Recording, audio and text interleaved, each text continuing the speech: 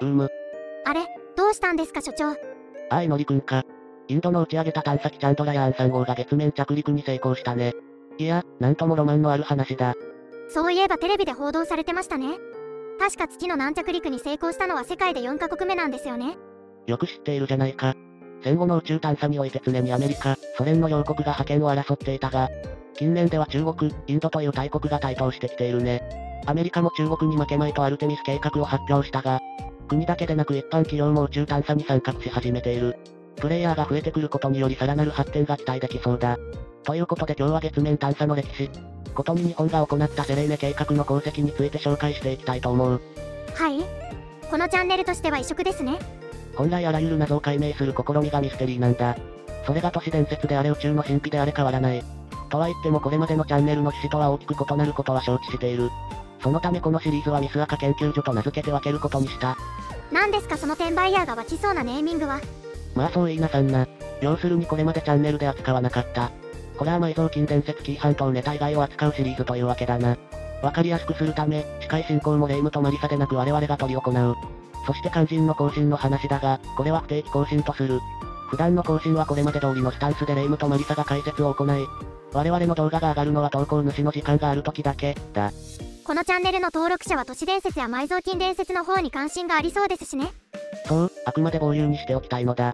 もちろん更新の要望があれば考えるが、基本的には投稿主もネタのストックはしていない状態だ。ご了承いただければと思う。それじゃあ、ゆっくりしていってね。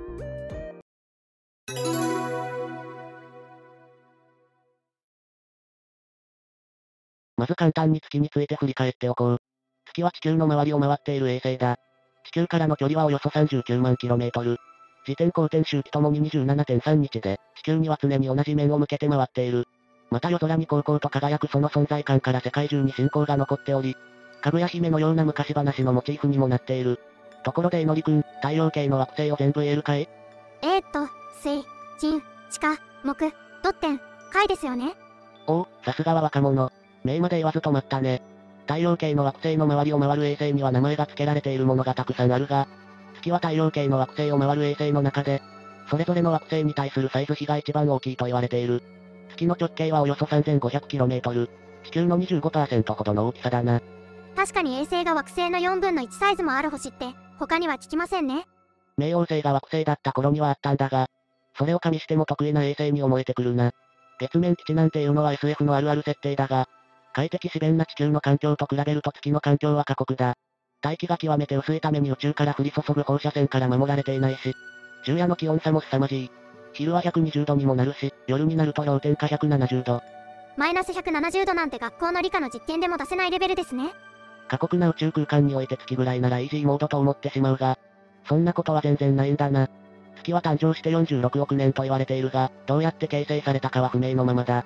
アポロ計画で持ち帰られた月の石が地球の石とよく似た成分だったため、どうも月と地球が完全なる他人ということはなさそうだ。月の起源として最も有名な説がジャイアントインパクト説だろうな。原子の地球に火星サイズの星か小低野がぶつかったことで、そのかけらが冷えて固まり再び集まることで月となったという。しかしそれならば地球よりもぶつかった側の低野に石の成分が似ているはずで、地球そっくりの石の矛盾を解決するために複数衝突説という説も出てきている。これは火星サイズの原子惑星との衝突ではなく、複数の星との衝突で出来上がったというわけだな。他にも原子惑星同士の衝突エネルギーでドーナツ状の天体シネスティアができ、そこから地球と月が生まれたという説もある。おっと寄り道が過ぎたな。そろそろ月探査の歴史に入っていこう。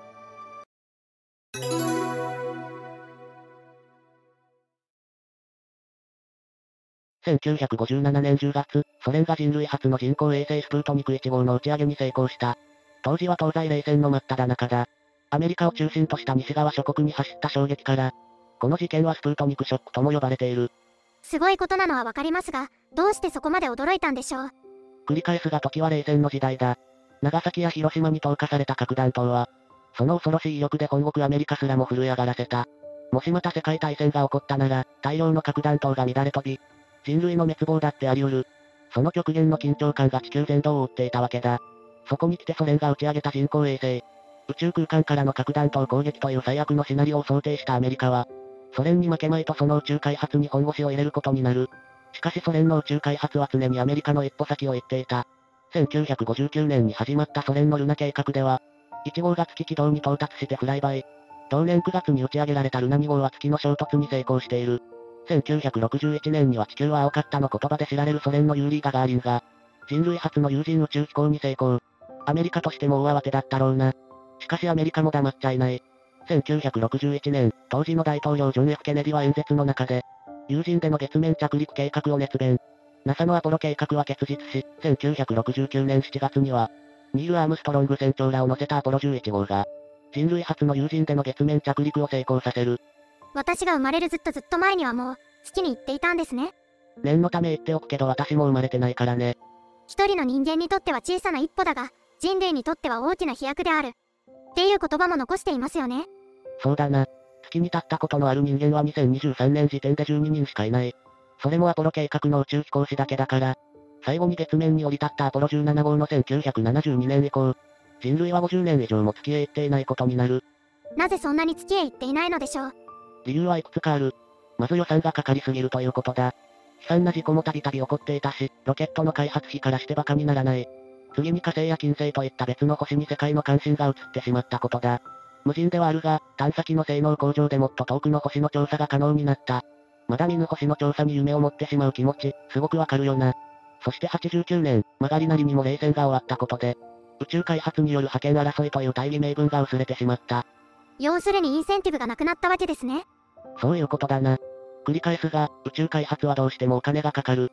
そのため各国がお金を出し合う宇宙開発モデルが生まれてきた。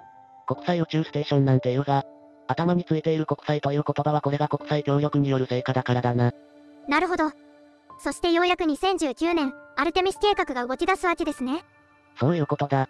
中国に宇宙開発の覇権を握らせないためという側面もあるし、60年前のアポロ計画発足の頃と動機があまり変わっていないのが気になるが、今度のアルテミス計画は女性の宇宙飛行士を月に立たせようという目的があるし、将来的には火星の有人探査を見据えている。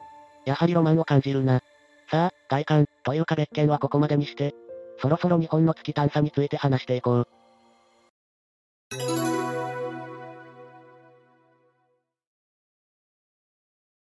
宇宙探査の国際的な関心が他の星へ移っていくが、月の探査がすでに十分できているとは言い難い。92年、アメリカの木星探査機ガリレオが月の近くを通過。その際月の撮影も行ったのだが、月の写真が撮られるのはソ連のルナ24号以来16年ぶりのことだった。本当に関心が薄れていますね。そもそも目的も月じゃなくて木星だったからね。しかし94年、アメリカは探査機クレメンタインを打ち上げ、本格的な月探査を開始した。クレメンタインの功績は月全球の観測を行ったことだろう。これまでもアポロ計画やルナ計画で撮影が行われていたが、それは月のごく限られた範囲の写真に過ぎず、月面の全貌を把握するにはまだまだ足りなかった。特に月の極域、つまり北極南極周辺まで観測できたことは特筆すべきだろうな。月の時点軸は太陽に向かって1.5度ぐらいしか傾いていない。ご存知の通り月にはたくさんクレーターがあるから、極域にあるクレーターの底には、常に太陽の光が当たらない場所があると予想されていた。これを永久影という。1996年、クレメンタイン計画を主導したスチュアートの Z らの論文が、科学雑誌サイエンスに掲載された。それによれば、クレメンタインから送られてきたデータを解析した結果、月の極の永久影に水量がある可能性があると分かったらしい。月に水があるんですか？あるにはあるがそれはあまりにも微量で、ここで重要なのは利用可能性なんだ。宇宙に持っていく水はコップ1杯で数十万円すると言われる。宇宙探査においてなるべく荷物は減らしたいところだが、長期の宇宙飛行において水なんていくらあってもいいぐらいだ。しかしもし月に利用できる状態の水が大量にあったとしたら、今後の月面探査や宇宙開発において貴重な資源となりうるわけだな。でもですよ、月の極域に水があったとして、光の当たらない影の部分ですよね。絶対凍ってませんか？だろうね。ただそれ以前に問題があって、永久影っていうのはその名の通り光が当たらないエリアだ。カメラで撮影しても影の中がよく映らず、その真偽を確認することはできなかった。月の水探しは大きな注目を浴びた。しかし極域の永久影の撮影成功は、日本のセレーネ計画の登場を待たなければならなかった。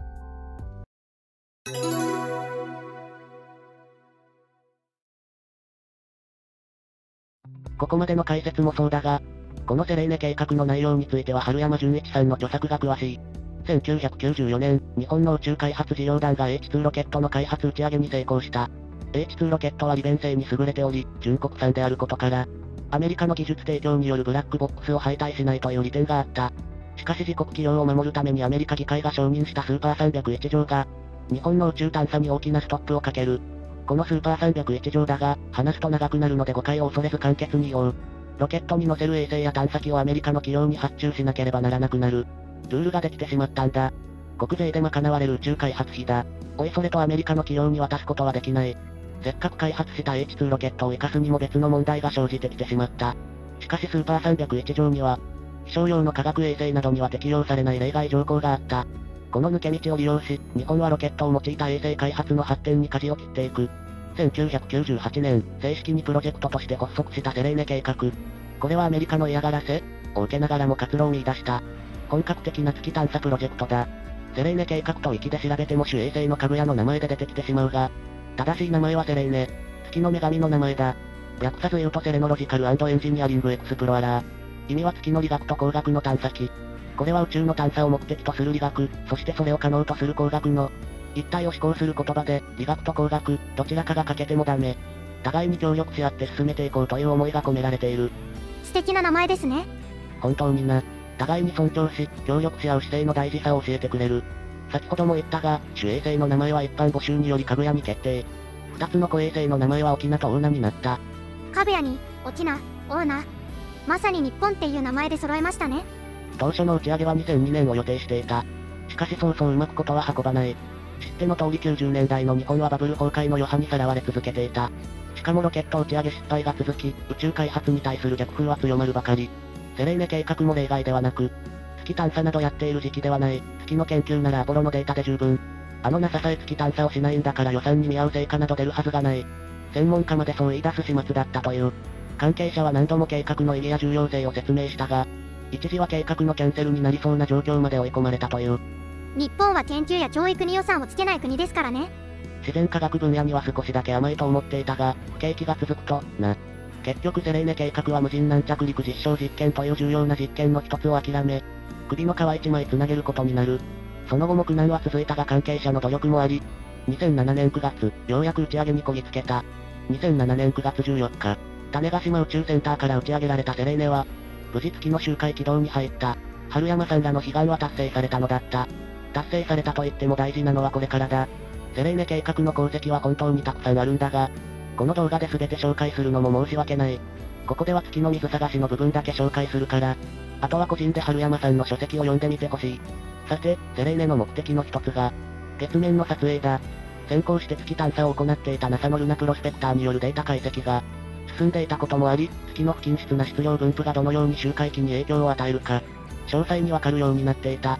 これによりセレーネの高度調整がやりやすくなり、極軌道での探査も可能となったんだ。極軌道ということは、やっぱり極域の撮影に行くんですね。セレーネには下方向に人間の目よろしく2つのカメラがついている。これらは真下方向に全55度ずつ傾いているために、異なる角度で地形を撮影することでその起伏がわかる仕組みを持っていた。これは地形カメラというんだが、暗いところでも撮影できる十分な感度が設定されており、地形カメラの責任者だった春山さんは極域のクレーター撮影も視野に入れ始めた。春山さんの考えた撮影のからくりはこうだ。隕石衝突でうがたれたクレーターには壁ができている。この壁が遮蔽物となって太陽の光をシャットアウトするわけだが、その上部には少しでも光が当たる部分があるはずだ。この時壁の上部から反射した光が、クレーターの永久影を照らす可能性があるのではないか、と。なるほど。でも仮にそれができたとして、確率はすごく低いんじゃん？だろうね。春山さんは2002年にアメリカの月探査会議でこのアイデアを提案していた。このアイデアは春山さんのオリジナルではなく、同じ発想でクレメンタインのデータを解析した人物がいたんだ。クレメンタインでは無理だったとしても、これから打ち上げるセレーネなら、一般の聴衆は春山さんの発表に肯定的だった。しかし発表後の質疑応答で口を開いた月科学の重鎮は、そんな風に見えるはずがないと一周。春山さんも反論したが、拙い英語力もあってその場は一気に否定的な感じになってしまったという。春山さんはその時の心情を、長いこと悔しい気持ちでいっぱいでしたと書いている。それは残念。要するに、春山さんにとって永久化での撮影成功はそのリベンジでもあるのですね。国家的プロジェクトにそんな市場は持ち込んではダメだが、元よりそういう計画だったし、実質的にはそうなるな。セレーネは無事月の撮影を開始。最初に撮影された写真はきちんと月の地表を映し出していた。中には南極のシャックルトンクレーターを写した写真もあり、春山さんは大きく驚いた。シャックルトンクレーターは水量があると言われているクレーターの一つだった。もちろんクレーターの中は真っ黒。春山さんは処理を施し、永久影の中の映像をあぶり出そうとする。しかし期待したような画像にはならなかった。やはりあの会議で言われたように、永久影の中を見るなんて無理なのか。春山さんはその後他の仕事に追われ、永久影のことはしばらく忘れていた。それから1ヶ月近く経った頃、春山さんはデータ処理の担当者に電話を受けた。ちょっと運用室に来てください。面白いものが見えたんですけれど。その言葉に特別なものを感じた春山さんは急いで運用室へ向かった。運用室の PC モニターには、シャックルトンクレーターの内部をきれいに写した写真が写っていた。あ、ついに成功したんですね。理屈は春山さんの考えた通りだった。しかし改めてカメラなどの角度を計算し直すと、年に数日もない奇跡のシャッターチャンスだったことが分かった。すごい、こんなことがあるなんて。なお残念ながらそこに大量の水はなかった。しかしクレーターの中が詳細にわかる画像であり、何より、これは世界で初めて撮影された月の永久影の中の写真だったのだ。まさしくセレーネチームの見事な功績ですね。私もこの本を読んだ時の興奮が今も忘れられない。